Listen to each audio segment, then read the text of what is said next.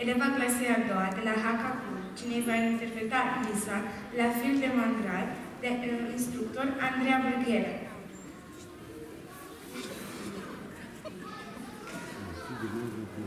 Thank you.